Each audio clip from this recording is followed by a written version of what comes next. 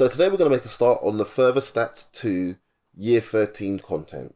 And the very first place we start is with combining random variables.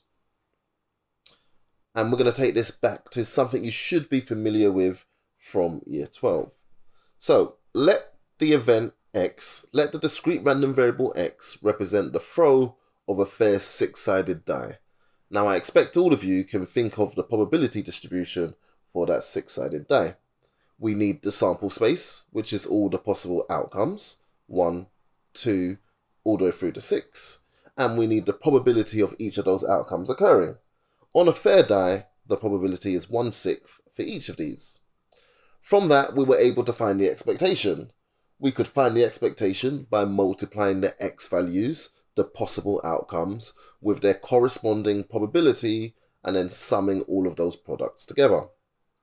Alternatively, we could have found the expectation by symmetry. We know that since this is a uniform distribution, it's symmetrical, the very middle value would be the expectation. In the middle of 3 and 4, we have 3.5. Similarly, we should be able to find the variance of x using year 12 techniques. We would square each of the x values, multiply by the associated probability. That will give us e of x squared and then we would subtract the expectation of x squared. We'll be subtracting 3.5 squared. And that gives us the variance. So I want you to have these starting points for us to think what happens when we combine these variables. So if x is one fair six-sided die being thrown and y is another fair six-sided dice being thrown, what happens when we add the results of the two together? So x plus y would produce this sample space. This should seem quite familiar to you. You've been producing this sample space with many different names all the way since year 9. This sample space has its own probability distribution. So the distribution of the combination of the result you get on two separate dice. Well, here is that distribution. All the possible outcomes, all the possible scores you could have got by adding the two dice together, and the probabilities that match them. We should be able to find the expectation and the variance of this distribution, and I want you to pay careful attention to how they relate to these original expectation of x and variance of x. The expectation of this combination is 7. You could also tell by symmetry that the expectation would be 7. The variance of this combination is 70 over 12. So oh, these would be found using the whole approach that we discussed before. Processing all of that gives us these two answers. But you might have intuitively expected the expectation of the two of them to be 7, and maybe even expected the variance of the two of them to be 7. Let's see what happens when we subtract. So this time round, the sample space looks like this. The probability distribution comes out like this. So here we have another symmetrical distribution, and this time by symmetry, we would expect the expectation to be zero. You may have got that through another intuitive method, but we can see here the expectation is zero. How about the variance? What do you think we'll get for the variance when we've subtracted one variable from another? At this point, a lot of students tell me that they expect the variance to be zero. But a variance of zero means all the values were the same. There is no variability. There is no spread in the data, no spread in the outcomes. That wouldn't quite make sense. And actually, if we process this in the same way we usually do, finding the expectation of the variable squared and subtracting the expectation of the variable squared, we would actually get a variance of 70 over 12. So that's the same as the variance that we got when we were adding. So here the main point to take away is that whether we're adding or subtracting, the variance is always increasing.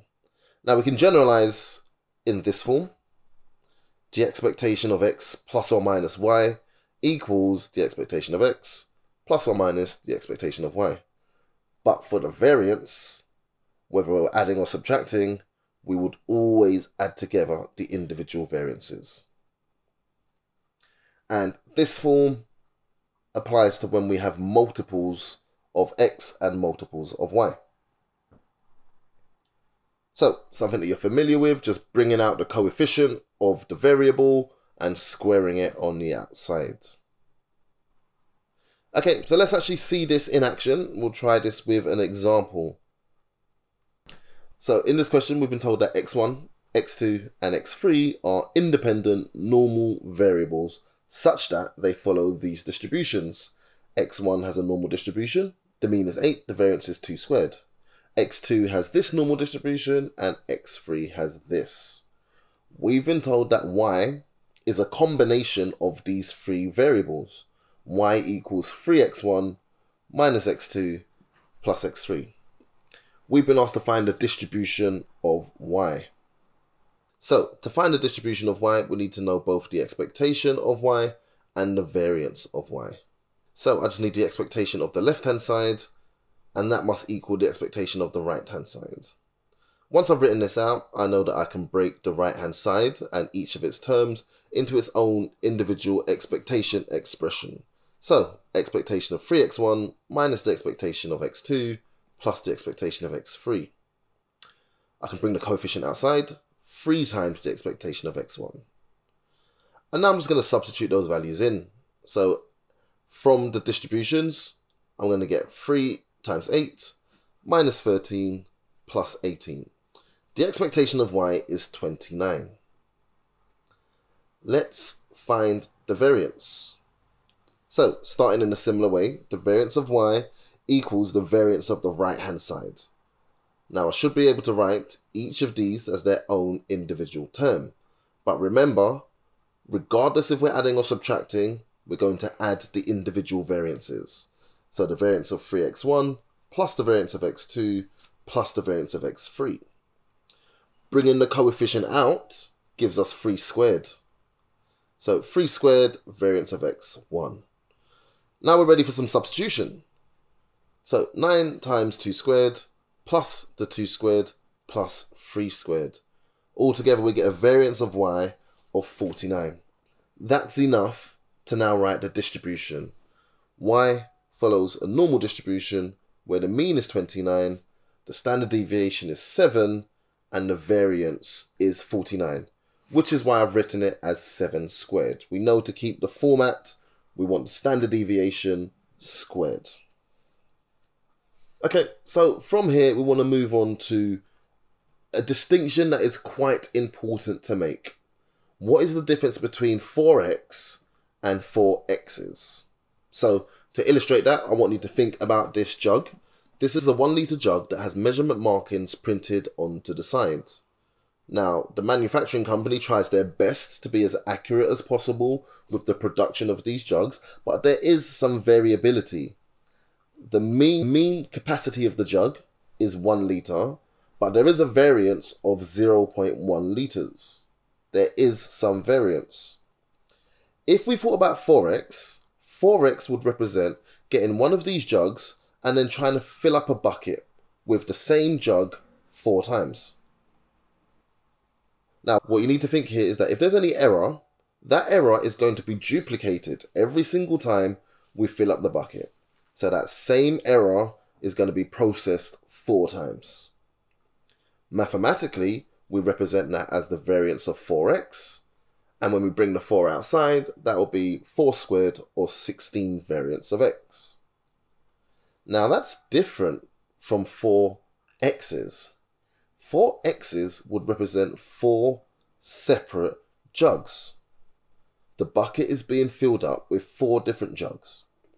Now, if there's an error in the production of one of these jugs, which means it has more than a litre, there's just as likely to be an error in another jug that has less than a litre.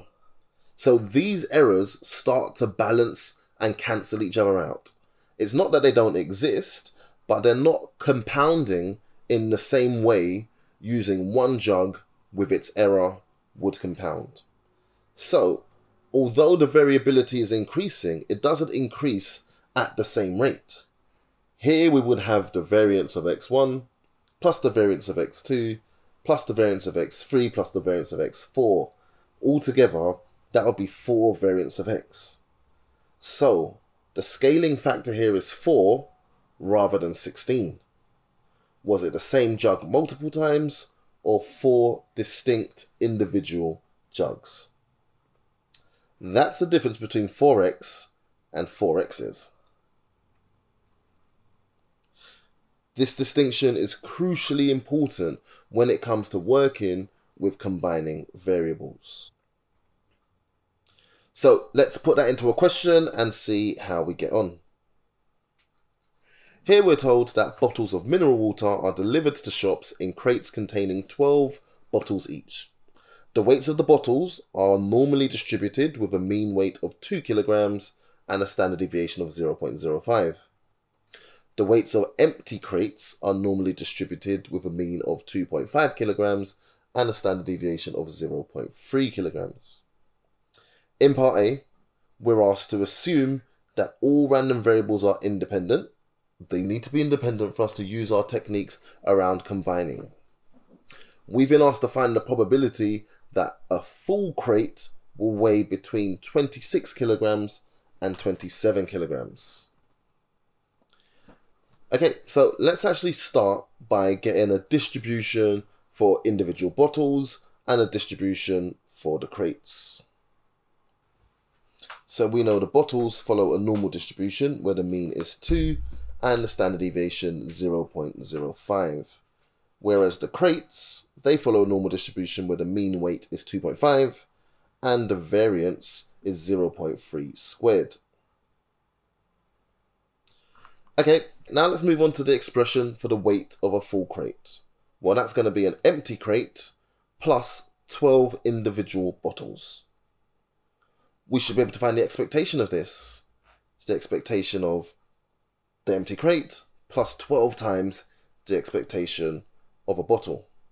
Substitute those values in, 2.5 plus 12 times 2, that's 26.5. Let's find our variance. Well, the variance of the weight is going to be the variance of the weight of the crate plus 12 times the variance of the weight of a bottle. 0.3 squared plus 12 times 0.5 squared. Add it all together, we get a variance of 0.12. Okay, that's enough to define the distribution. W follows a normal distribution of 26.5 and the square root of 0.12 squared. Took a bit of work to get there, but we're just using this normal distribution as you would usually expect to, to find the probability of being in between 26 and 27. So let's just see this on a diagram. 26.5 is the mean. 26 and 27 are equally distant on each side. So we have a little bit of symmetry here. In our calculators, NCD 26, 27 for the minimum, maximum, standard deviation, and the mean. That gets us an answer of 0.8511. So we ended with a normal distribution calculation, but we started with the combination of variables. We had to decide on what combination to use, and then we found the expectation and the variance.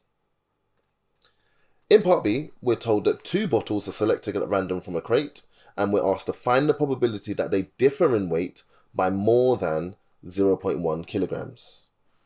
So, firstly, let's get an expression for this. I'm going to call the difference D, and D is going to be B1 minus B2. As always, we want the expectation and we want the variance. The expectation of D is going to be the expectation of B minus the expectation of B.